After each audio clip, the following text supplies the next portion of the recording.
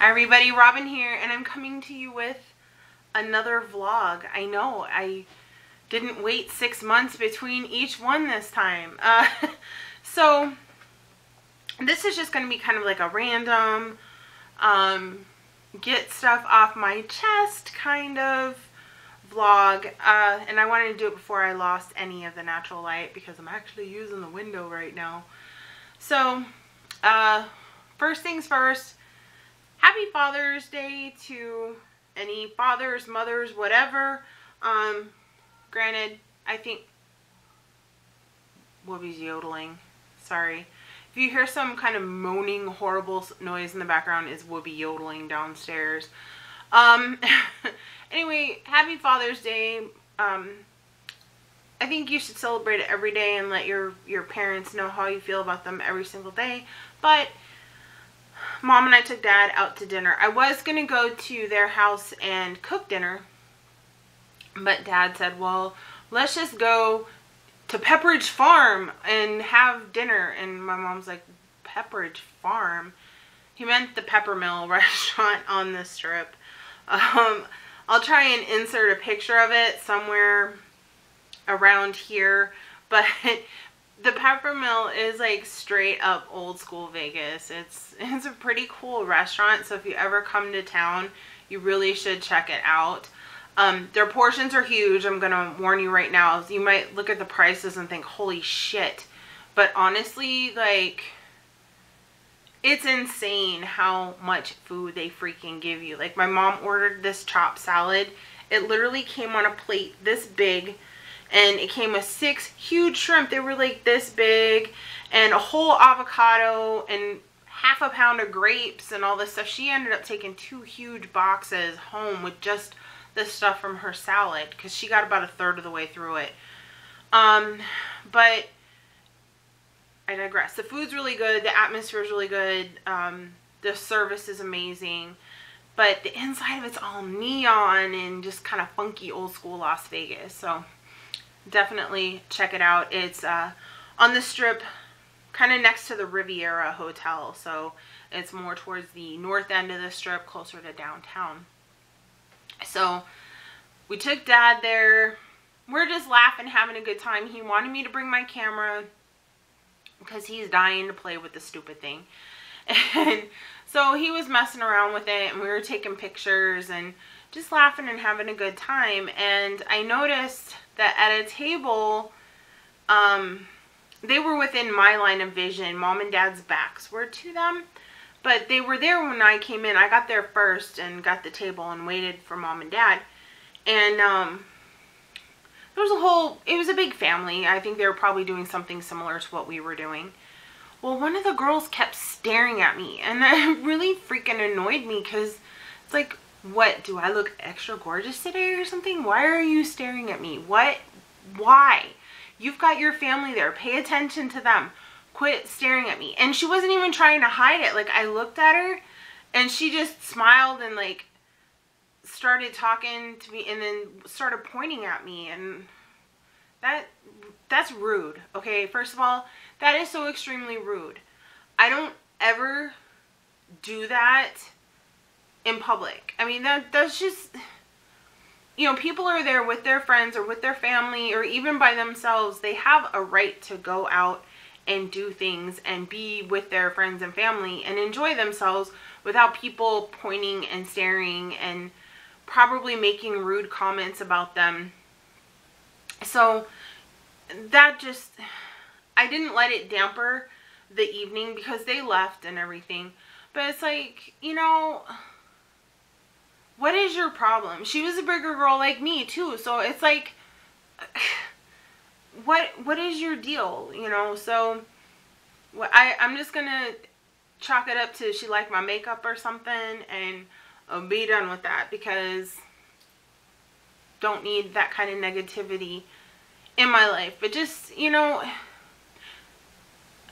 I think I'm at a point in my life where I realize how far a little bit of kindness goes and it just annoys me to no end when I see people being rude, just blatantly rude especially, to other people that they don't even know. You don't know what's going on in their life. So just be kind to other people, I guess, is what it boils down to. And if you can't be kind, just at least don't point and laugh.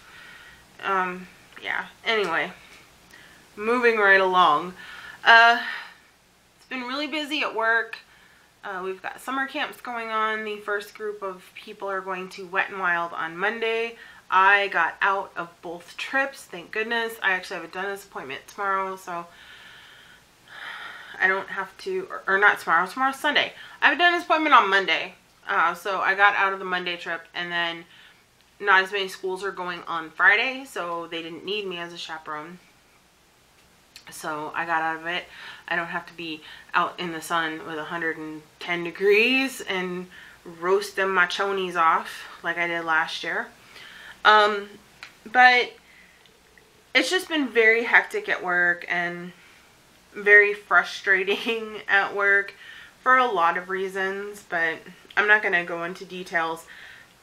But I will say this, I am so very much looking forward to summer, to a vacation. Not just because I get to see Heather, but because I need to get away from work for a while. You know, I, I just need to not be around that. And so the end of this month when we're going to LA, that's going to be really nice. I mean, it's only one day that I'm not going to be at work, but still, it's one day. And, um, and then the following week, going to have that long weekend for 4th of July. And uh, then, you know, the end of July, going to DC, which that'll be nice. I I always bitch and complain about how hot and humid it is in DC, but I love DC. I, I'm not gonna lie, I do love it. Um, there's so much to do, and I I'm a total nerd for all the Smithsonian um, museums and everything. So yeah, I I'm pretty excited about Washington D.C. Um, other than that, not a whole whole lot going on. Um, nothing too crazy, which is a good thing.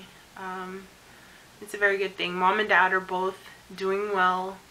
Um, other than allergies, you know, which is those are attacking everybody right now. But you know, they're both doing good and they're both in good spirits. And mom was being extra sassy tonight.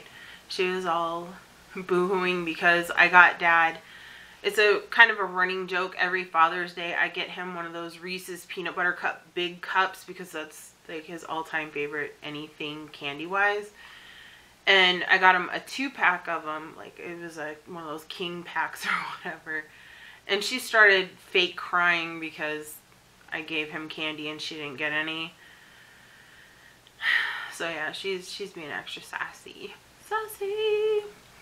And Oh, another thing. I have decided that my cat Pootie is the feline version of my best friend Heather because first of all, they talk to each other when I when Heather and I are on the phone. If I have Heather on speakerphone, Pootie and Heather start having a conversation.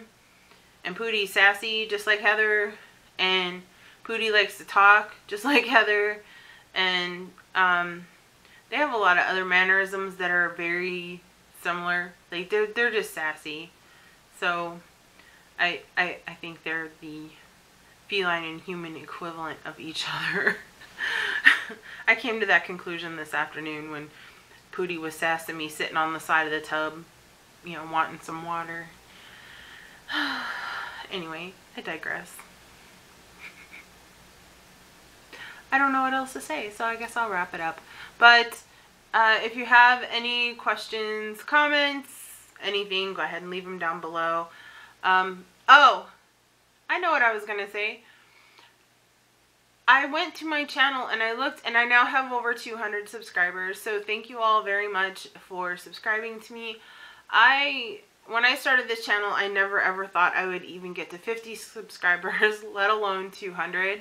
So thank you all for subscribing and I am going to do some kind of giveaway at some point, but you know, with it being over 100 degrees outside right now, I have to be very cognizant of what it is I send and when I send it because a lot of stuff, especially if I do makeup or Bath and Body Works or something, a lot of it might melt or explode coming from here. So I just, I need to think about what I'm going to do and put it together. But I do want to thank each and every one of you. And, you know, if you do actually watch all my videos, bless your heart. if you only watch certain ones, like I know I have a bunch of people that watch the freebie videos or the unboxing videos. Again, thank you very much just for even taking any time out of your day to sit down and watch me ramble for 10, 15 minutes. So, thank you all for watching and I will see you soon. Bye.